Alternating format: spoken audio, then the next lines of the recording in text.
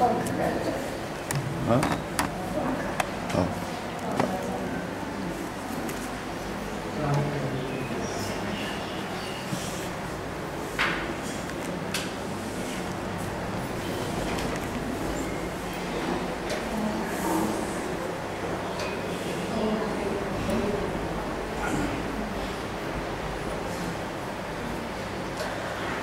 गाथा सहाशे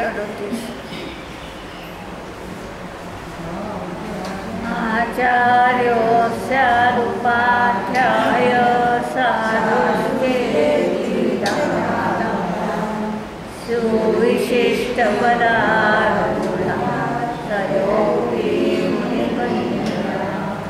वस्तुत तिन्ही मुनीच आहे पण मुनी असूनही त्यांना विशिष्ट अशा प्रकारचं पद दिल्या गेलेलं असणार आहे. आणि म्हणून गुरु तीन प्रकारात विभागल्या गेले.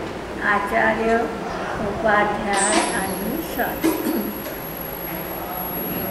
विशिष्ट पदारूढ हा एका आपापल्या विशिष्ट पदावर ते आरूढ असल्यामुळे त्रयो अपि मुनिपुंजरा हा तिन्ही वास्तविक मुनीच आहे एको हेतु प्रिया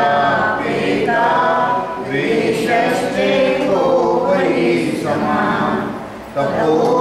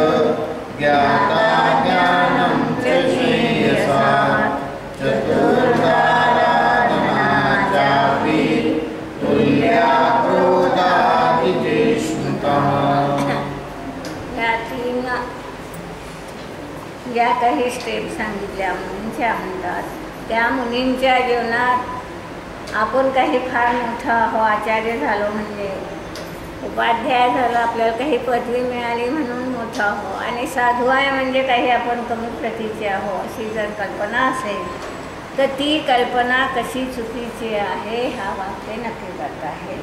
की हे या तिघांच्या ठिकाणी सगळं समान आहे. कोणत्याही गोष्टीत कोणी काही वरचढ कमी अधिक असू शकत नाही. त्यांचे मूलगुण उत्तरगुण सगळ्या बाह्यक्रिया देखील समान असणार आहे फरक फक्त एवढाच असणार आहे की एक विशिष्ट व्यवहार चालावा म्हणून दिल्या गेलेलं हे पद असतं. व्यवहारासाठी दिल्या गेलेलं हे पद असतं. त्याच्या मूळ प्रकृतीमध्ये स्वभावामध्ये काहीही अंतर असत नाही. एको हेतू. आचार्य उपाध्याय साधू होण्यासाठी निमित्तही एकच आहे. कोणतं निमित्त आहे? बारा कषायांचा अभाव. हे मिथ्यात्व आणि बारा कषायांचा अभाव हे एकमेव हेतू आहे. म्हणून सगळ्यांच्या हेतूमध्येही फरक नाही.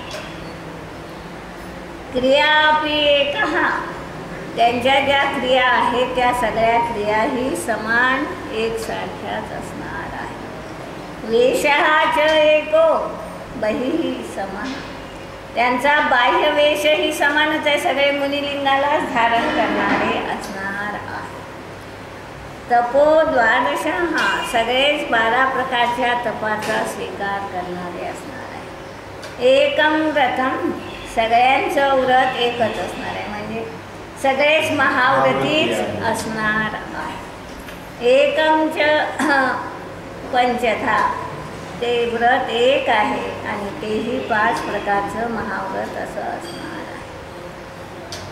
त्रयोदशविधम च एकम चारित्र. चारित्र ही तेरा प्रकारचं जे आहे ते तेरा प्रकारचं चारित्र ही सगळ्यांचं समान आहे. तेरा प्रकारचं चारित्र कोणतं? माहीत नाही. भारतीय तेरा प्रकारचं चारित्र माहीत आहे. शांता हां. नाही माहीत. वर्षा तेरा प्रकारचं चारित्र कोणतं.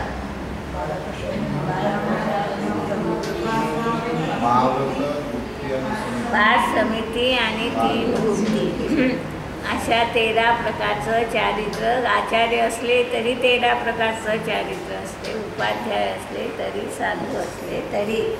त्यांचं चारित्र्य नियमाने हे तेरा प्रकारचंच असणार आहे. एकदा समता. सगळ्यांच्या ठिकाणी समता बुद्धी नियमाने असली पाहिजे. मूलोत्तर गुणाहाच एक. त्या सगळ्यांचे मूलगुण आणि उत्तर गुण. मूलगुण गुण किती आहे? अठ्ठावीस आहे. आणि उत्तर गुण? अठरा उत्तर गुण आहे. तेवढे सगळे सगळ्यांचे समान असणार एक हा संयम. हा त्यांचं संयमही एकच असणार आहे. कोणतं संयम असेल? संयमाचे भेद आठवत. संयमाचे भेद किती? संयम मार्गणीचे भेद सात आहे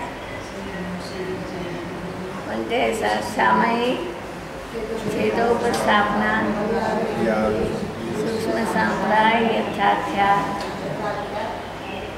आता उंच नाही येणार माहीत होतं मला देश संयम आणि असंयम। संयम मार्गणीचे हे सात वेद आहे कोणते सामायिक छेदोपस्थापना परिहार सिद्धी सूक्ष्म संप्राय हे पाच तर चारित्राचेच भेद आहे सकल चारित्राचे. पण संयम मार्गाने संयम सगळ्यांजवळ आहे दाखवण्यासाठी असंयम त्याची विरोधी पर्याय का होईना पण ती मार्गाने घेतल्या जाते. म्हणून असंयम आणि देशसंयम असे सात भेद संयम मार्गणीचे असणार आहे. त्यातले हे पाच संयम आहे. हा नियम आहे तर म्हणतात या संयमामध्ये त्यांच्या काही फरक पडणार आहे का? सगळे सकल संयमीच असणार आहे महाव्रतीच असणार आहे. परीश उपसर्गानाम सहनम च समम स्मृतम. जे काही परीश आहे परीश किती आहे? बावीस बावीस आहे किंवा काय उपसर्ग आहेत नाना प्रकारचे. ते सहन करणं ही समान अशा प्रकारचीच प्रक्रिया त्यांच्या जीवनात असणार आहारादिविधी आहारादी विधी ही च एक. आहाराच्या विधीत काही फरक असेल आचार्यांच्या उपाध्यायांच्या आणि साधूच्या म्हणतात आहाराच्या विधीचा प्रकारही एकच असणार आहे. चर्या म्हणजे गमन स्थान आणि आसन. ह्या सगळ्या गोष्टी समान असणार आहे. त्यांनी कोणत्या आसनाने बसावं कुठं थांबावं ह्या सगळ्या गोष्टी तिघांच्याही समान असणार आहे. कधीही मुली एक पाय वर करून बसू शकत नाही. चालूही शकत नाही. मांडी घालूनच बसलं पाहिजे. बसताना हा नियम आहे. दुसरा नियम एक सगळ्यांनी समजून घेण्यासारखा असतो की कधीही मुलींचे उभे फोटो घेत नाही.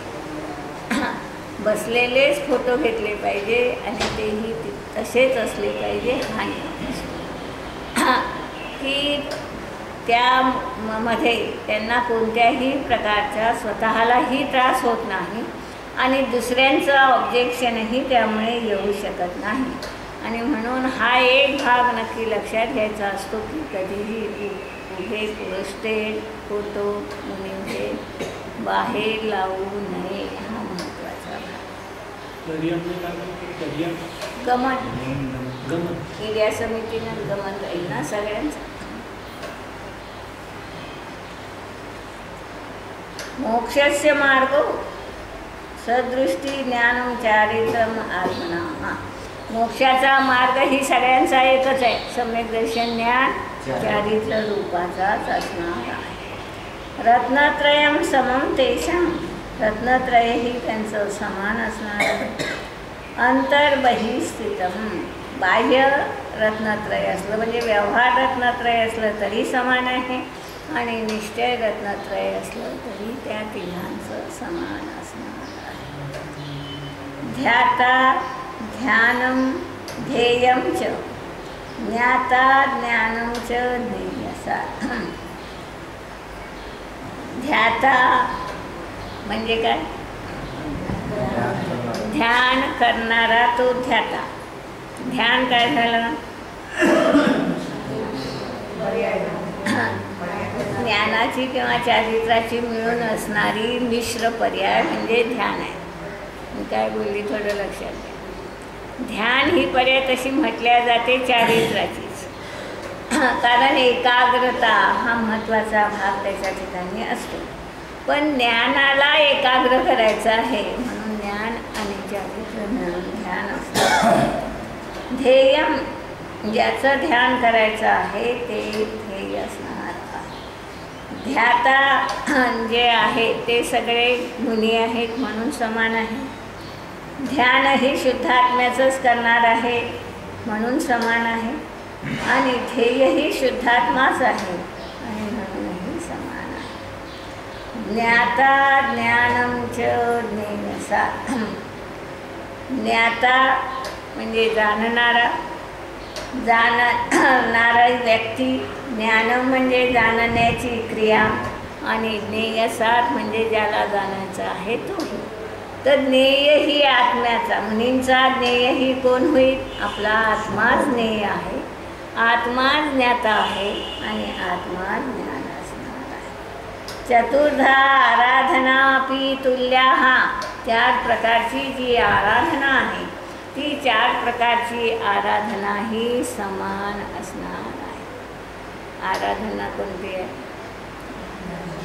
दर्शनाराधना. ज्ञानाराधना चारित्राराधना आणि तपाराधना.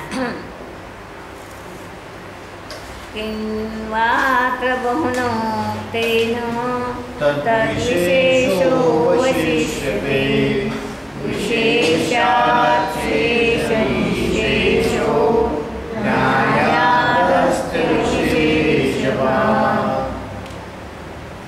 म्हणतात किंवात्र बहुना उत्तेना अधिक काय सांगत बसायचं आहे म्हणतात तद्विशेष हा अवशिष्यते. जे राहिलं ते त्याच्यात असणारी विशेषता फक्त शिल्लक राहिली आहे. सगळ्या प्रकारची समानता आम्ही दाखवलेली आहे. विशेषात शेष हा निशेषो.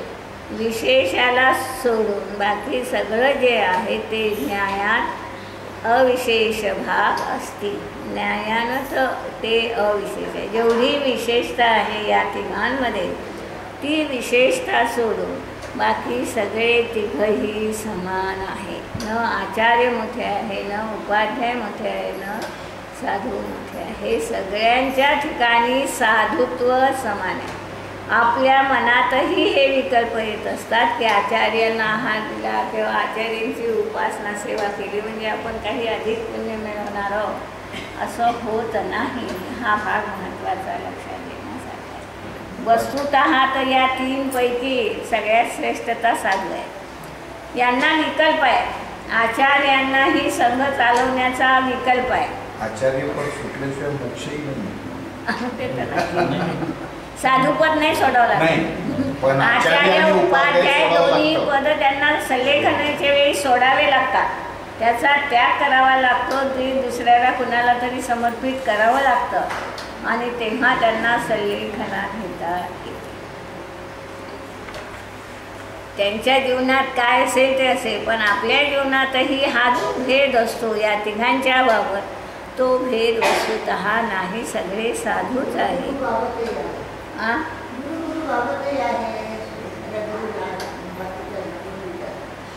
तो भात अजून वेगळा झाला.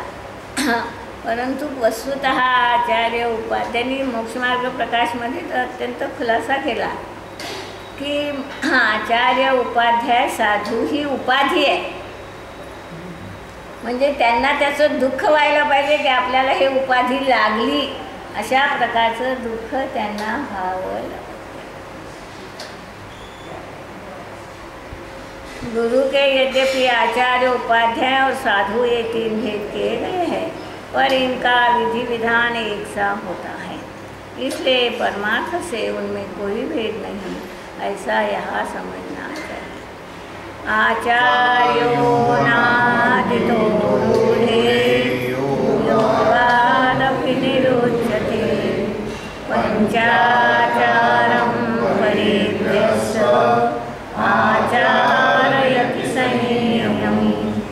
अभिचिन्ने व्रते साधो पुनः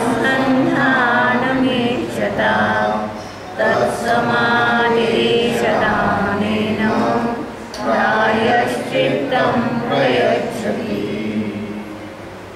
हा सगळा बाह्य क्रियाकलाप जो आहे तो आचार्यांच्या ठिकाणी कोणत्या रूपाचा असणार आहे ते दर्शवलं आहे अनादितो रूढे हे योगादपि निरुचते अनादिकालापासून रूढही झाला आहे आणि शब्दाच्या निरुक्तीच्या रूपानंही आचार्य शब्द हा काही आपला अर्थ घेऊन आहे.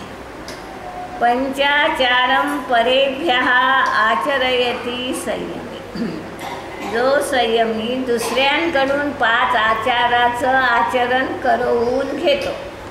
स्वतः स्वतःही करतो दुसऱ्याकडनंही करून घेतो असं स्वतःचा त्याचे गुणच आहे आचार्याचे गुण किती? कोणते?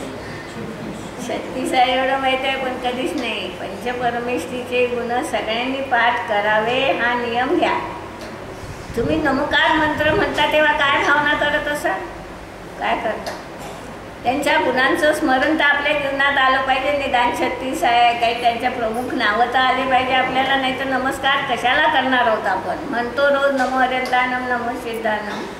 त्या गुणांचं जर स्मरणच होत नसेल तर त्या नमकार मंत्र म्हणायला काय अर्थ राहील आपल्या हे गुण निदान पंचपरमेष्ठीचे आलेच पाहिजे. आपल्या कारंज्यात आपण हे मोठं मोठं वाचतो. दुसऱ्या ठिकाणी कोणी तुम्हाला हे नाही विचारणार तुम्हाला शुद्धात्मा येते का नाही? विचारल तर हे विचार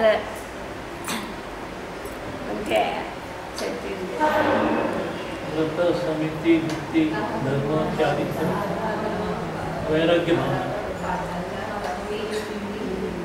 सगळे मिळून पुऱ्या करून बारा तप दहा धर्म.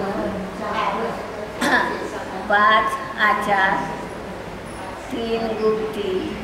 सहा आवश्यक अशा प्रकारचे छत्तीस गुण आचार्यांचे असणार आहे.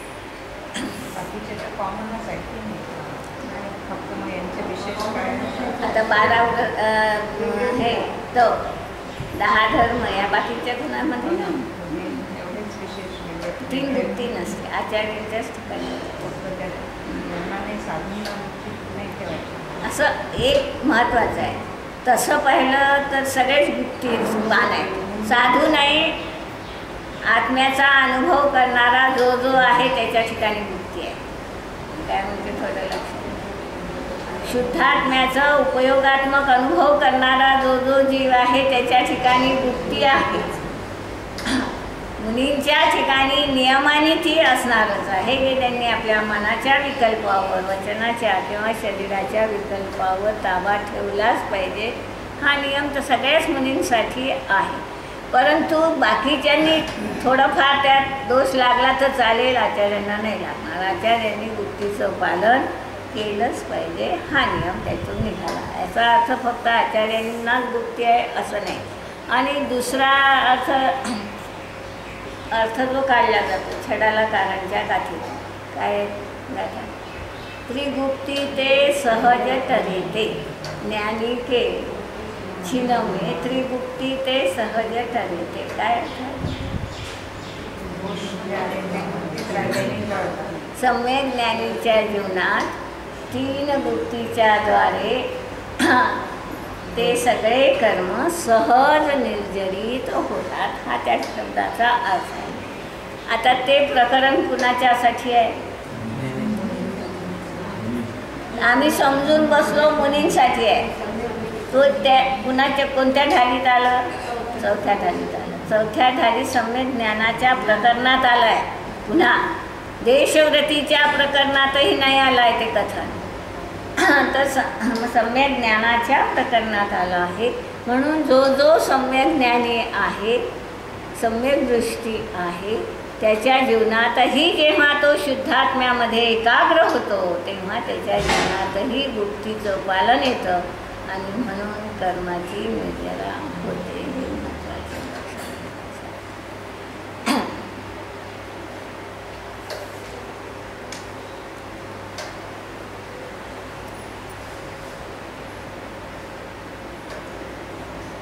अपि छिन्ने व्रते पुन्हा संधानम इच्छता हा साधो। हो पुन्हा आचार्यांचं दुसरं काम काय आहे? की दुसऱ्यांकडून आचरण करवून घेणं. म्हणजेच करून घेणं म्हणजे, म्हणजे काही ते असं द्यावं लागतं त्यांना. आणि दिल्यानंतर ते बरोबर पाळतात का नाही पाळत? कुठं त्याच्यामध्ये दोष लागतो का? ह्या सगळ्या गोष्टींचा परामर्श त्यांना करावा लागतो. छिन्ने व्रते. व्रतापासून तो जर छिन्न झाला असेल ढळला असेल तर पुन्हा हा संधानम इच्छता शब्द मोलाच आहे. जर तो स्वयं इच्छित असेल संधान करण्याचं की पुन्हा त्या व्रतामध्ये स्थापित होण्याची जर त्याची इच्छा असेल तर व्रते हे पुन्हा त्याला व्रतामध्ये स्थापित करणं हेही काम आहे. तत्समादेशदानेन प्रायश्चित्तं प्रयच्छन्ति। आणि व्रताचा भंग झाला असताना त्या व्रतात पुन्हा स्थापित करण्यासाठी आदेशदानेन आदेश कशाला म्हणतो? आज्ञा त्याला असं म्हणतात. आदेश म्हणजे हे केलंच पाहिजे हा त्याचा अर्थ असतो. उपदेश आणि आदेशातलं अंतर लक्षात घेणार असं करावं. हा उपदेश आहे. आणि हे केलंच पाहिजे हा आदेश आहे. आदेश फक्त आचार्य त्यांच्या संघातील मुलींना देऊ शकतात. श्रावकांना आदेश देत नाही. पुढे आहे. उपदेश. पुढे आहे. पुढे आहे सगळं. ज्यांना काही सोडलं नाही. आणि दि दिलं तर काही बाधा येते असंही. नाही नाही दिलं तर नाही पाळलं म्हणजे मग? हां? नाही पाळलं तर त्याचा दोष त्यांना थोडाच लागणार आहे. दोष तर न पाळणाऱ्यालाच लागेल ना. पुसलं त्यांनी जर सांगितलं की गृहित मिथ्यात्व सोडा हा आदेश दिला. तर काही. बाधा होईल हा काय गृहित उपदेश सोडा हे तर उपदेशामध्ये येते. उप नाही आदेशही दिला समजा. उपदेश तर ठीक आहे. पण हे सोडलंच पाहिजे असं म्हटलं. तर त्याच्यात त्यांच्या व्रतात काही बाधा येते विशिष्ट आदेश दिला की तू रोज एक उपवास करत जा अष्टमी चतुर्दशीचा आदेश दिला. तो नाही पाळण्यात आला त्याचा मग कोणाला दोष लागेल? दोघांना दोष लागेल. घेणार आदेश नसतं. देणाऱ्याला काय लागू शकतो? आदेश देणाऱ्याने आदेश त्याची पात्रता समोरच्या. व्यक्तीचं पात्रता पाहूनच देईल ना. आचार्यांना ते तर ज्ञान असते. मग आचार्यांना आपल्या संघात असणाऱ्या प्रत्येक व्यक्तीचं ज्ञान पाहिजे. त्याच्या स्वभावाची ठेवण कशी आहे त्याची शक्ती किती आहे त्याच्या भावना कशा आहेत हे सगळं ज्ञान पाहिजे. त्याच्याशिवाय नाही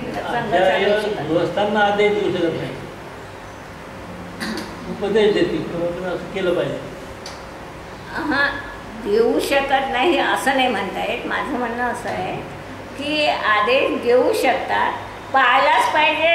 हा नियम श्रावकासाठी नाही मुलींसाठी मात्र नियमाने तो नियम आहे दिलेला आदेश पाळलाच पाहिजे. संघच नियम तो राहणार प्रायश्चित्तम प्रयच्छन्ती. आणि मग त्याच्याकडून झालेल्या चुकीला अनुसरून सगळी प्रायश्चित्त विधान नावाचा एक ग्रंथ असतो मुलींसाठी. आणि त्या त्या दोषाला अनुसरून जे जे प्रायश्चित्त असेल प्रायश्चित ते आचार्य देत असतात आदेशस्योपदेशेभ्य सविशेषसमेधवा आददे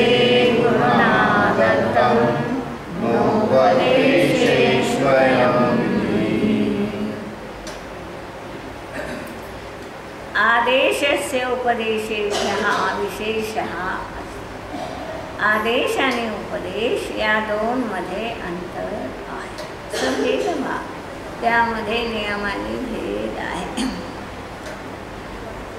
आददे गुरुनाम दत्तम. आदेश जो आहे तो गुरुनी दिलेला असणार आहे. उपदेशेषु अयम विधीही न. उपदेशामध्ये ही विधी असणार नाही. आदेश दिल्यानंतर मी त्याचा स्वीकार करतो हे मुलींना करावंच लागते. तुम्ही जो मला आदेश दिला तो मी स्वीकार करत आहे हे मुनींसाठी नियमानं आहे. श्रावकांना त्यांनी तो मी पाळेलच हे म्हणण्याची गरज राहणार नाही. उपदेश अयमविधीही न. उपदेशामध्ये शब्द मोलाचा टाकला अर्थात मुख्य नाही. ही विधी उपदेशात कधी मुख्य असू शकत नाही. की त्यांनी तो पाळलाच पाहिजे. जो आदेश दिला तो आदेश श्रावकानं पाळलाच पाहिजे हा नियम श्रावकासाठी नाही. परंतु मुनीतल्या मुनी संघातल्या मुनींसाठी मात्र तो पाळलाच पाहिजे हा नियम न निषिद्ध सदा देशो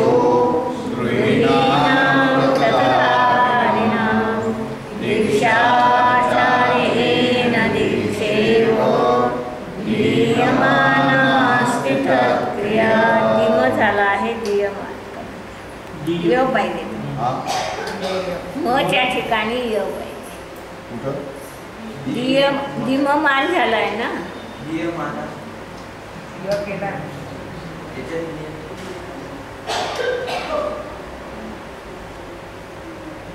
आदेश हा निषिद्ध हा गृहिणाम न. गृहस्थालाही आदेश देणं निषिद्ध नाही. कोणते गृहस्थ घेतले? व्रतधारिणा यांनी व्रतांचा स्वीकार केला आहे. असे जे गृहस्थ आहे त्यांच्या संघातही शुद्ध कैलक असणार आहे. त्यांनाही ते आदेश देऊ शकणार आहे. आणि साध्या गृहस्थांनाही ते आदेश देऊ शकतात निषिद्ध नाही. त्यांच्यासाठी की त्यांनी आदेश देऊच नये असं नाही. पण आदेश दिल्यानंतर पाळलाच पाहिजे हा नियम गृहस्थासाठी नाही. हा नियम संघातल्या मुलींसाठी. दीक्षाचारेण दीक्षेव दीयमाना तत्क्रिया असते। दीक्षा देणाऱ्या आचार्यांच्या द्वारे दीक्षे तशी दिल्यानंतर ती पाळावी त्याप्रमाणे म्हणतात। आदेशाची ही क्रिया आदेश दिल्यानंतर ती पाळली पाहिजे। हा नियम मुलींच्यासाठी नियमाने असतो। सनिषेधो यथा नाया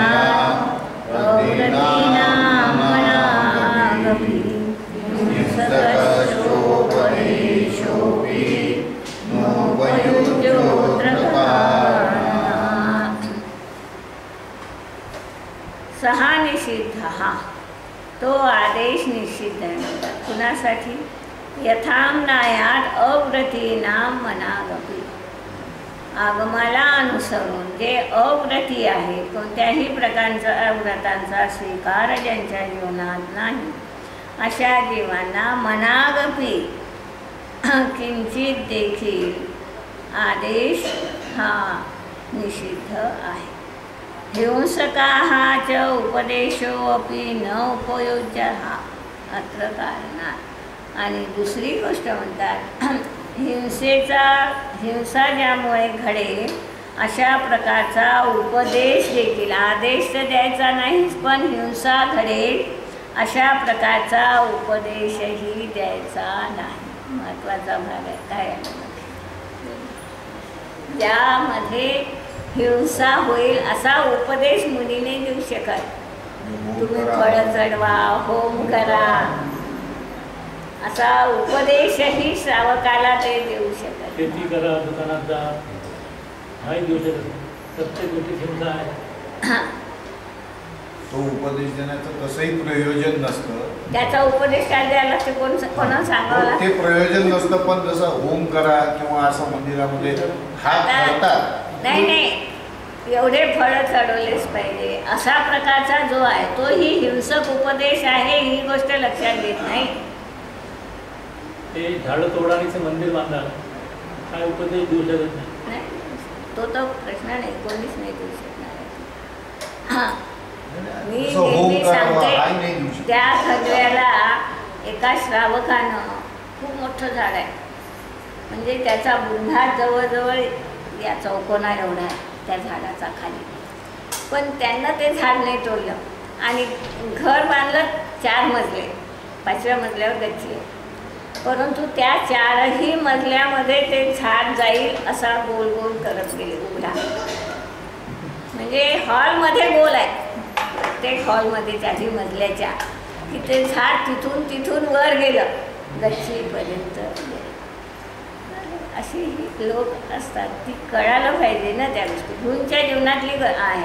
त्या कधीच कोणतंच झाड मरू देते ते बरोबर जगल कसं असंच तोडायला ते स्वतः उभं राहून. आणि ते बरोबर दुसऱ्या ठिकाणी जगेल अशाच रीतीनं लावलं. हे त्याच्या जीवनात कळालं. त्याला ते आपोआप लक्षात म्हणून मुनी हा उपदेश नाही देऊ शकत. की तुम्ही फळं चढवलेच पाहिजे गंध फुलं चढवलेच पाहिजे देवावर चढवलेच पाहिजे. हा उपदेश मुनी देऊ शकत नाही. म्हणून शब्द आहे हिंसकाहाच उपदेशो अपि न उपयुज्यते. ज्यामध्ये हिंसा घडते अशा प्रकारचा उपदेशही मुनी देऊ शकत नाही. मुनिव्रतधराणां वा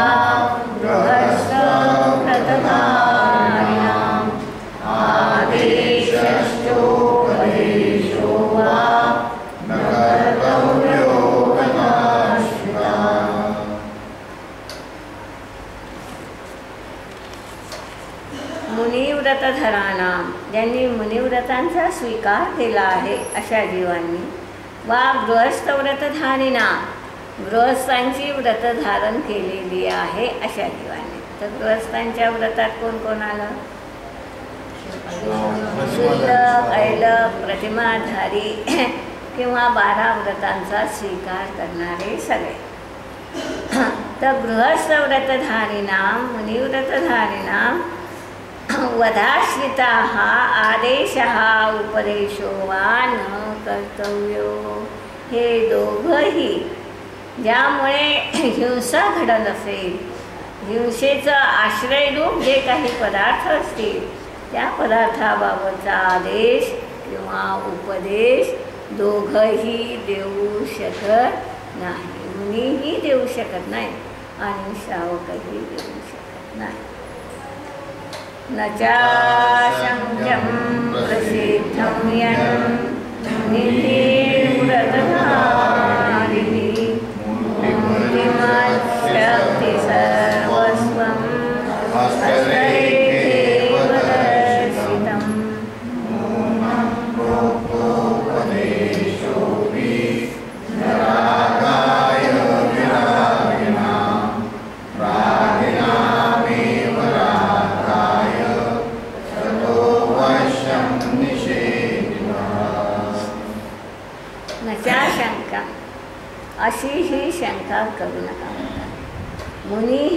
मुनीही व्रतधारीही प्रसिद्ध मुनी असले किंवा व्रतधारी जे जीव असतात त्यांच्या ठिकाणी मूर्तिमत शक्ती सर्वस्व हस्तरेखा एव दर्शितम.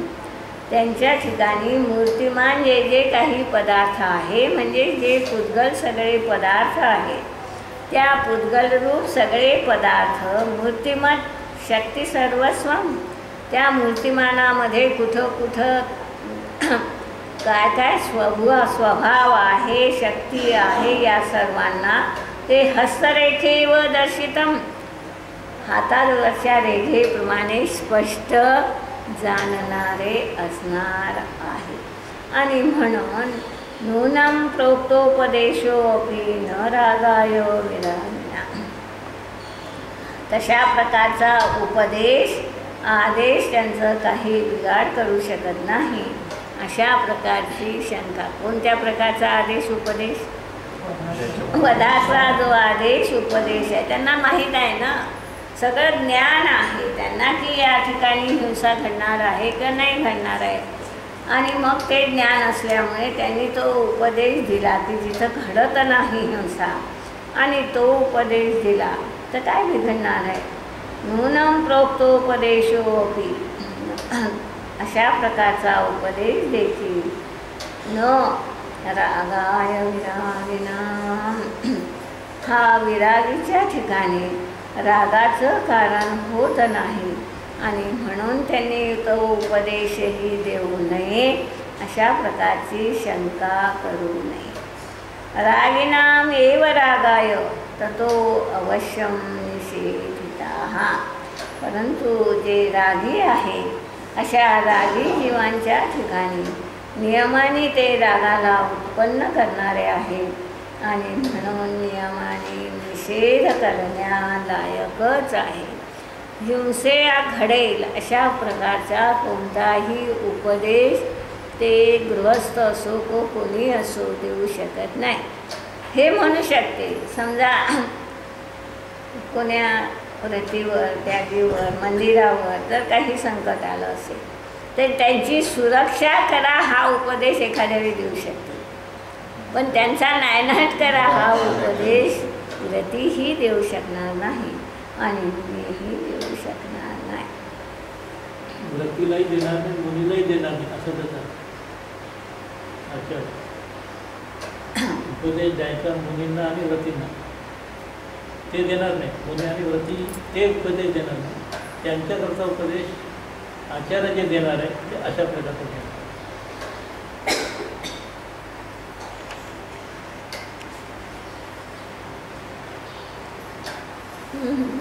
त्यांनी अर्थ वाचा म्हणजे लक्षात येईल तुमच्या. काय अर्थ केला? वाच हाँ? अर्थ वाच. जो यह प्रसिद्ध है कि व्रतधारी मुनि मूर्तिमान पदार्थों की समस्त शक्तियों को हस्तरेखा के समान दिखला देते हैं।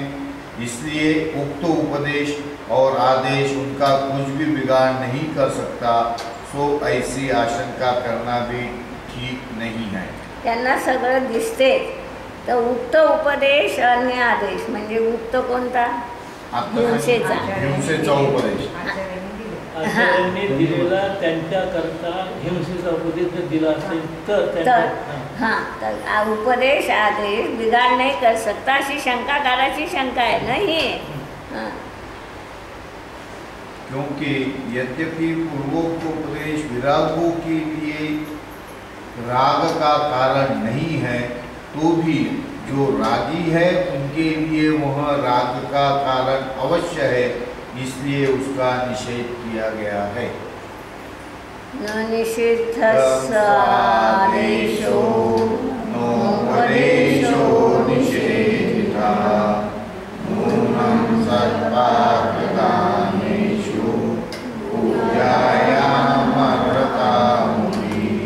न निषिद्ध सहा आदेश उपदेश निषेधित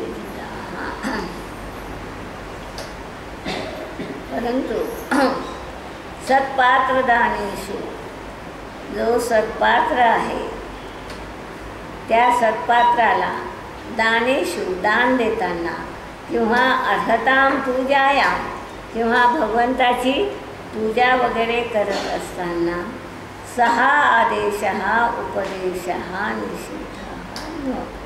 तो आदेश किंवा तो उपदेश निषिद्ध. म्हणजे त्या जीवांनी भगवंतांची पूजा करावी किंवा सत्पात्राला दान द्यावं अशा प्रकारचा उपदेश काही निषिद्ध. म्हणजे तो सावध्य दोषांनी युक्त आहे तरी देखील तो निषिद्ध नाही. दोन्ही पूजेमध्ये आणि आरदान देण्यामध्ये सावध्य दोष आहे? आहेच सगळा म्हणजे सावध्य नाही निषेध आहे. निषेध आहे. म्हणजे सावध्यपणा आहे तरी तो निषिद्ध. सावध्यपणातही पाप तर कोणतेही क्रिया करत असताना लागणार आहे.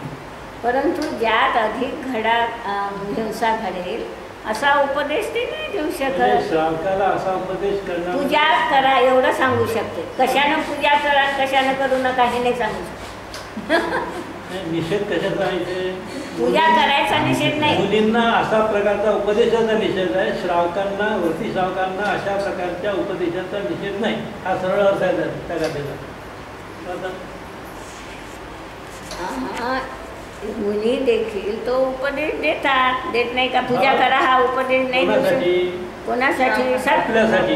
मग आपल्याला ते स्वतः थोडेच करणार आहे. मुलींना थोडंच सांगते पूजा करा. आणि पुढे सांगणारच आहे. पुढच्या याच्यामध्ये सांगणार आहे की मुलींसाठी हा उपदेश निषेध आहे. हो मग बरोबर आहे. मुलींना देतच नाही ना. मुलींना पूजा करता येते का? नाही.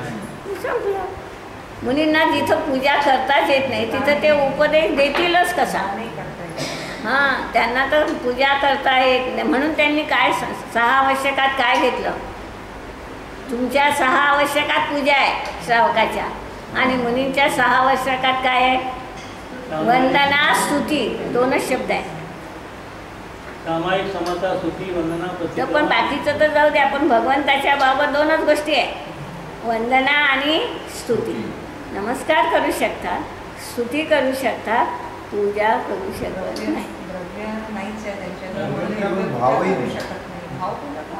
आता भाव पूजा करू शकतात म्हणू शकतात. म्हणू शकतात. द्रव्य नाहीच आहे त्यांच्याजवळ म्हणून ते करू नाही. नाही नाही दुसऱ्याच्या द्रव्यालाही हात नाही लावू शकत. शुभराग असल्यामुळं आवश्यकात टाकला नाही तो. शुभराग पहिलेच निषिद्ध केलेला आहे ना. हा झाला. तो तो आता विकल्पाच्या भूमिकेमध्ये तो येतो कशा प्रकारचा विकल्प राहतो. श्रावकांना किंवा मुलींना शुभरागाचा विकल्प. तो फक्त दाखवेला आहे. तो ते आवश्यक आहे आता असं असा की आवश्यक नाही, हे एवढंच करू शकतात असं. करू शकतात म्हणजे तशा प्रकारची वृत्ती होते. वास्तविक तो त्यांचा धर्म नाही आहे तिथे.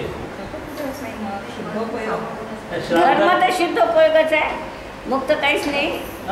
हा, तेच म्हणतो धर्म हा फक्त शुद्धोपयोगात हे राहणार. सगळं आहे शुभ रागातच सगळ्या ह्या गोष्टी येणार आहे. शुभरागात येणार आहे ते. बस शुभ रागात ह्या सगळ्या गोष्टी त्यांना कर- करावं लागणार आहे. गुणांचं पालन करणं शुभ रागच आहे ना. अठ्ठावीस मुलगुणाचं पालन नाही शुभ रागच आहे का नाही? आहे ते म्हणजे तशा प्रकारचे होते आवश्यक म्हणून नाही आहे आवश्यक आहे त्याला व्यवहारात म्हटलेलं आहे. निश्चय आवश्यक वेगळंच आहे. निश्चय सहा नाहीच. निश्चयात भेद राहील काय मग नाही? संपलं. हा प्रकार जो आहे तो तिथे राहत नसतो. निश्चयानं लावायचा प्रश्न नाही. जेव्हा आपण हे अठ्ठावीस मुलगून पाहतो आहे तेव्हा नियमाने व्यवहार आहे. मग आता तिथं पुन्हा नाही? सगळं व्यवहार आहे. सगळा व्यवहारच आहे ना. भेदाचं कथन. भेदाचं कथन जिथं आलं तिथं व्यवहारच आहे. तिथं निश्चय घुसडायचाच नाही म्हणजे शुद्धात राहत नसेल तर या शुभ शुद्धात राहत असेल तर हे सोडायचं. आणि अशुभात जाणार असेल तर शुभात शुद्धात गेल्यानंतर हे आपोआप हे सुटल्यावरच जात आहे नाही नाही शुद्धात राहिला नाही तर हे येतेच. येतेच. मला हा. सांगायचं ना. शुद्धात राहिला नाही तर हे आल्याशिवाय राहत नाही. आपोआपच येणार आहे. त्यांना ठरवून करावं लागत नाही. हा महत्त्वाचा भाग आहे. सम्यक दृष्टी जीवाच्या ठिकाणी शुभ रागही तो ठरवून करत नाही. तो सहज त्याच्या जीवनात येतो. पण अशुभात जाऊ नये म्हणून शुभ या शुभरागामध्ये तर भावना तर ती येतच असेल. अशुभा अशुभापेक्षा शुभाराग चांगला ही मान्यता सुद्धा हिंडती घोर पारम घोर संसारामध्ये हिंडवणारी आहे. प्रवचन सांग आता शहात्तर सांग. जो मंडली अशी सुरुवात आहे जो मानतो का मी शुभाचार शुभ आचरण वाईट आचरणापेक्षा चांगलं आहे. त्यांना काय म्हणायचं हे नाही समजलं. काय म्हणायचं होतं त्यांना? की जेव्हा आम्हाला शुद्धात राहता येईल का नाही? आता त्यावेळी काय होईल? काय अशुभ करेल तो? करणारा सवाल नाही तो शुभही करणार नाही अशुभही करणार नाही. करण्याची बुद्धीच नाही आहे समय गोष्टीला. पहिली गोष्ट बेस बेस बेस जे पाहिजे आपोआप जे होतं आपोआप ते शुभच होतं. पण त्याचा अर्थ त्याच्या जीवनात शुभ नाही हा तर होत नाही, संपलं. मग त्या तिला तेवढंच म्हणायचं आहे की. त्याच्या जीवनात शुभ अशुभ अशुभ करण्यापेक्षा शुभ करते हे. असं नाही म्हणायचं. असं नाही. शुद्धात राहता येत नाही. नाही. आणि म्हणून जर अशुभ आलं तर काय होईल? तर एक मी नेहमी उदाहरण देते आणि ते अत्यंत मोलाचं आहे त्याच्यासाठी. क तारेवर कसरत करणारी मुलगी. ज्यावेळी खाली पडते त्यावेळी जाळी असते तिला काही लागते का? काही इजा होईल का तिला? तारेवर कसरत करणारी मुलगी एखाद्या दिवशी तोल जाऊन पडते. तर खाली जाळी असते जाळी असल्यामुळे तिला काही इजा होईल का नाही होणार. मग ती आनंदित होईल का दुःखी होईल? तरी दुःखीत होईल. तरी ती दुःखीच होणार आहे. त्या आज म्हणजे काहीतरी चुकली. तसा हा शुभोपयोग येणारच आहे त्याच्या जीवनात. पण आला तरी तो त्याला दुःखरूप रूपानं स्वीकार स्वीकारत नाही. हा महत्वाचा भाग आहे. सत्पात्रदानेषु पूजायाम् अर्हताम् अपि सः आदेशः उपदेशः न निषिद्धः. तो आदेश किंवा उपदेश हा निषिद्ध नाही. दोनसाठी दोन न आले. न निषिद्ध हा आदेश हा. उपदेशो न निषेधिता हा. ह्या दोन्ही गोष्टीचा निषेध होत नाही. एक घेऊन पुढचा मग. शंका येतात ठेवून ठेवू. यद्वादेशोपदेशोस्तौ निरवद्यकर्मणि यत्र सामर्थ्यलेशोऽस्ति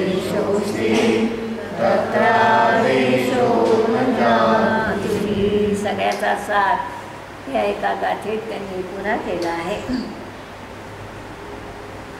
यद्वा आदेशो उपदेशो वा आदेश असू द्या की उपदेश असू द्या स्तौ दौ ते दोन्हीही निरवद्य कर्मने कुठं उचित आहे म्हणतात? निर्दोष असं जे कार्य असेल त्या त्या भूमिकेला अनुसरून त्या भूमिकेत बाधा येणार नाही. मुनी असेल तर मुनींच्या भूमिकेत बाधा येणार नाही.